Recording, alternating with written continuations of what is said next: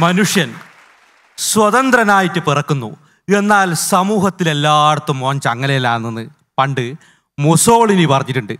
അങ്ങനെ നിങ്ങൾ ആരെ കൈക്കും ചങ്ങല ഇട്ട് കെട്ടിയിരുന്നില്ലല്ലോ എന്നാ കൈയടിച്ചോ മൈക്കിൾ ഫാരഡെ വൈദ്യുതി കണ്ടുപിടിച്ചുകൊണ്ട് ഏറ്റവും അധികം ഗുണം കിട്ടിയത് എന്റെ കുടുംബത്തിനാണ്. കാരണം വേറൊന്നുമല്ല എന്റെ വെല്ലിച്ചന്റെ ഭ്രാന്ത് മാറി. എന്റെ വെല്ലുമ്മേരെ ഭ്രാന്ത് മാറി. എന്തിനു പറയുന്നത് യൂണിവേഴ്സൽ ഭ്രാന്തനായ എന്റെ ബമ്പർ മാമന്റെ ഭ്രാന്ത് വരെ മാറി. അതുകൊണ്ട് ഞാനും എന്റെ കുടുംബവും കരണ്ടിന ദൈവത്തിനെ പോലെയാണ് കാണുന്നത്. അവസാനം എന്നെ ഷോക്ക് അടിപ്പിക്കാൻ വേണ്ടിയിട്ട് കുണ്ടംപറമ്പിലെ കുട്ടപ്പ ക്ലിനിക്കിലെ കുട്ടപ്പൻ ഡോക്ടറെ അടുത്ത് കൊണ്ടുപോയിട്ടാകുമ്പോൾ കുട്ടപ്പൻ ഡോക്ടർ ഒരു നഗ്ന സത്യം പറഞ്ഞത് ഈ വൈദ്യുതി നിങ്ങൾ വിചാരിക്കുന്ന പോലെ ഒന്നുമല്ല അത് അമൂല്യമാണ്. അത് വെറുതെ ഈ ശരീരത്തിലെ കടത്തി വിട്ടിട്ട് പാഴാക്കി കളയാൻ വേണ്ടി പാടില്ല. പിന്നെ വൈദ്യുതി കമ്പിയിലും അനാവശ്യമായിട്ട് നിങ്ങൾ തൊടാൻ പാടില്ല.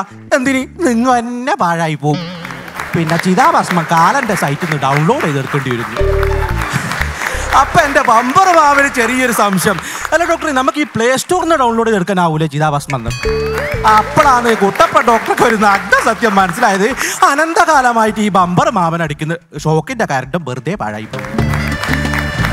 അതുകൊണ്ടാണ് ഞാൻ പറഞ്ഞത് വൈദ്യുതി അമൂല്യമാണ് അത് പാഴാക്കാൻ വേണ്ടി പാടില്ലാന്ന് സത്യം പറഞ്ഞാലുണ്ടോ വിജോട്ടാ എന്നാൽ ഞാൻ ഈ എപ്പിസോഡ് ചെയ്യാൻ വേണ്ടിയില്ലേ ഒരു കണ്ടന്റ് തപ്പിയിട്ട് ഒരുപാട് ഒരു നട്ടപ്രാന്തനെ പോലെ അലിഞ്ഞിട്ടുണ്ട്.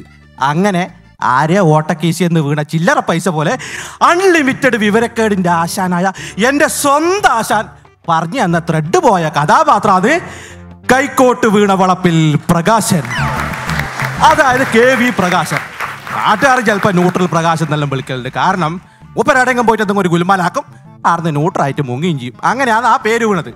ഇവനോട് നമ്മൾ സംസാരിക്കണമെന്നുണ്ടല്ലോ ഒന്നിക്കിൽ ഒരു കുപ്പി അമൃതാഞ്ചം വേണം. അല്ലെങ്കിൽ അറുന്നൂറിന്റെ രണ്ട് ഡോളോ വേണം. അമ്മാതിരി ഭീകര തലവേദനയാണ് ഇയാളെ കൊണ്ട്.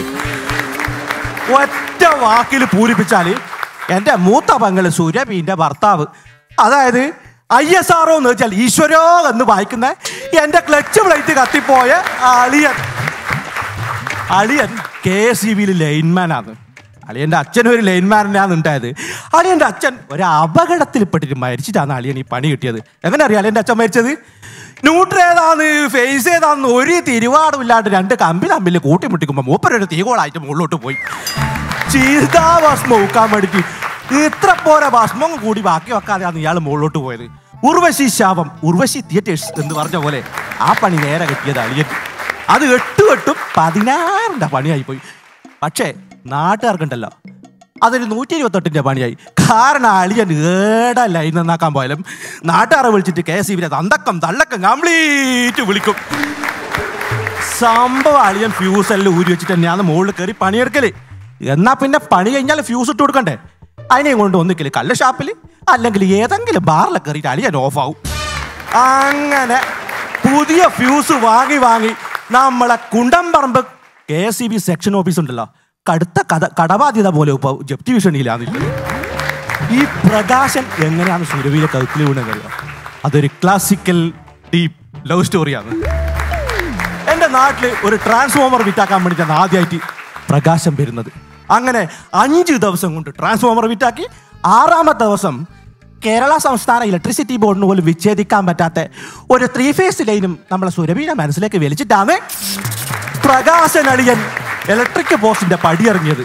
ഈ ഒരു പ്രേമം നൂറേ നൂറ് വോൾട്ടേജിൽ കത്തി നിൽക്കുന്ന ഒരു സമയത്ത് ഈ സുരഭി എഴുതിയ ഒരു ലവ് ലെറ്റർ എനിക്ക് വീണ് കിട്ടി. എങ്ങനെ അറിയാ കത്ത്? നിങ്ങളാകുന്ന കൈക്കോട്ടിൽ എന്നെ ഒരു മണ്ടറിയായി കോരിയെടുത്തോണ്ട് ഓലെ കൈക്കോട്ട് വളർത്തൽ പ്രകാശ് ഏട്ടാന്ന് ഇത് വായിച്ച സമയത്തുണ്ടല്ല.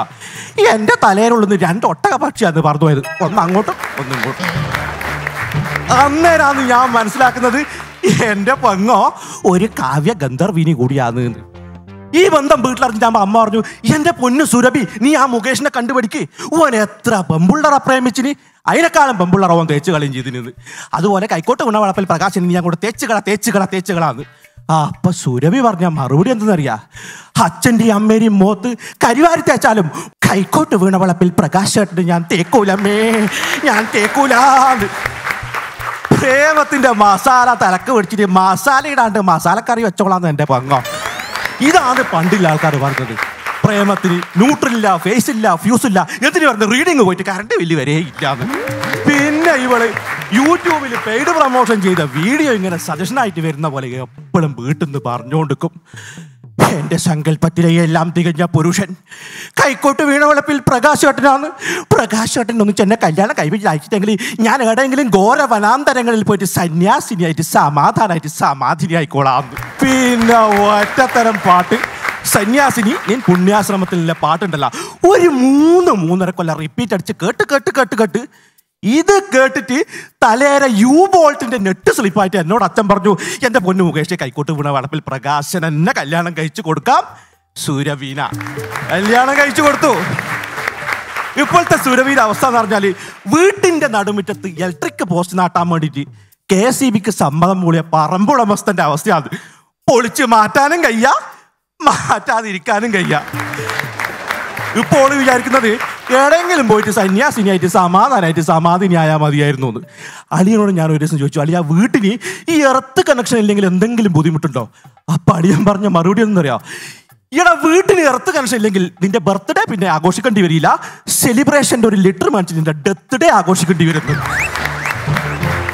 അളിയന്റെ മെയിൻ ആയിട്ടുള്ള പ്രശ്നം എന്നത് പുകവലി മദ്യപാനം തന്നെയാണ് ഇതിന്റെ ഇടയ്ക്ക് നാടൻ പാറ്റെടുക്കുന്ന കണ്ണാട്ടന്റെ വീട്ടിൽ ഒരു കറണ്ട് കണക്ഷൻ കൊടുക്കാൻ വേണ്ടിയിട്ട് ആർന്ന് അടിച്ച് ഫിറ്റായിട്ട് കണ്ണാട്ടനോട് ടാറ്റ പറഞ്ഞിട്ട് ഇറങ്ങിയിട്ട് നേരെ നടന്നു പോയിട്ട് വീണത് ഇരുപത്തിരണ്ട് കോൽ താഴ്ചയില്ല കണ്ണാട്ടന്റെ പറമ്പിലെ പൊട്ട കിണറ്റിലേക്ക്. അവിടെ എത്തിയപ്പാട് അടിയനൊറ്റ ചോദ്യം. അല്ല കണ്ണാട്ട നിങ്ങൾ ഈ റൂമിന് മാത്രം വയറിംഗ് ആക്കിയിട്ടല്ലേന്ന് പിന്നെ കണ്ണൂരിൽ നിന്ന് ഫയർഫോഴ്സ് വന്നിട്ടാണ് അകത്തില്ല തലവേദന എടുത്തിട്ട് പുറത്തിട്ടത്. കണ്ണട്ടിന് ചിലവായത് പത്ത് മുപ്പത്തി ഏഴായിരം രൂപ ചെലവായി. അതോടെ കണ്ണട്ടൻ വ്യാജവാറ്റ് നിർത്തിയിട്ട് സന്യാസം സ്വീകരിച്ചു. ഇപ്പൊ കണ്ണാനന്ദ മൂർത്തി എന്നില്ല പേര് സ്വീകരിച്ചിട്ട് ഹിമാലയത്തിൽ ഏതോ മലമടക്കിൽ മൂപ്പര് ധ്യാനത്തിലാണുള്ളത് അത് എന്റെ വേറൊരു പ്രധാനപ്പെട്ട പ്രശ്നം എന്താ അറിയാം? പെങ്ങളോട് എന്തെങ്കിലും പറഞ്ഞ് പണങ്ങി കഴിഞ്ഞാൽ നേരെ പോയിട്ട് ട്രാൻസ്ഫോമറിന്റെ പീസ് ഊരിട്ട് ഒരു നാടിനെ ഇരുട്ടിലാക്കും. അവസാനം നാട്ടുകാരെ ചൂട്ടിന്റെ എത്തിച്ചിട്ട് വന്നിട്ട് അടിച്ചളിയന്റെ ഫ്യൂസ് കേരിയർ തകർച്ചതിന് ശേഷമാണ് ഈ ഒരു പ്രശ്നത്തിന് ശാശ്വത പരിഹാരം ഉണ്ടായത്. അങ്ങനെ ഇപ്പോൾ നിങ്ങൾ നിന്റെ ഫൺസ് അപ്പോൺ ടൈം എന്ന പരിപാടിയില്ല ഉണ്ട്. അതിൽ ഒരു അവതാരികില്ലേ ഉണ്ട്. എന്തെന്നാ അതിന്റെ പേര്? ഡയാന. ഈടാ ഓളെ യഥാർത്ഥ പേര് ഡയാന ഒന്നും അല്ല. ഓളെ യഥാർത്ഥ പേരെന്ന് എനിക്ക് ഡേഞ്ചർ വളപ്പിൽ ആമിന. രണ്ടാമത് സെലിബ്രേറ്റ് ആയതിനു ശേഷം ഓൾ പേര് മാറ്റിയാന്ന്. അങ്ങനെയാണ് അളിയന്റെ കാര്യം. സത്യം നിങ്ങളോട് ഞാൻ തുറന്നു പറയാം. അളിയന് രണ്ട് ഗ്ലാസ് നാടൻ വെള്ളം അടിക്കാതെ ഒന്നും പോസ്റ്റിന്റെ മുകളിൽ കയറാനാവൂല. ഇതിന്റെ ഇടയ്ക്ക് അടിച്ച് ഫിറ്റായിട്ട് പാമ്പ് മരത്തമ്മ കയറുന്ന പോലെ പോസ്റ്റുമ്പ കയറിയിട്ട് ടീ ക്ലാമ്പിൽ അളിയൻ ഓഫായി പോയി. അങ്ങനെ ടീ ക്ലാമ്പിൽ ഓഫാവുന്ന കേരളത്തിലെ ആദ്യത്തെ ലൈൻമാൻ എന്നുള്ള ബഹുമതിയോട് കൂടിയിട്ട് അളിയനെ K S E B suspend ചെയ്തു. എത്രയോ നല്ല ലൈൻമാൻമാരുണ്ടല്ലോ നമ്മുടെ നാട്ടിൽ ഒരു ലൈൻമാൻ അങ്ങനെ ആവാൻ പാടില്ല കെ എസ് ബി ഇപ്പം പുതിയൊരു പുസ്തകം ഇറക്കിയിട്ടുണ്ട്. അതിൽ ഒന്നാമത്തെ പേജിൽ പരാമർശിക്കുന്ന ന്യൂട്രൽ പ്രകാശൻ എന്റെ അളിയനാണ്. അതിന്റെ യാതൊരു അഹങ്കാരം ഇടക്കില്ല കേട്ടോ. അപ്പം ഞാൻ പോയിട്ട് വരാം.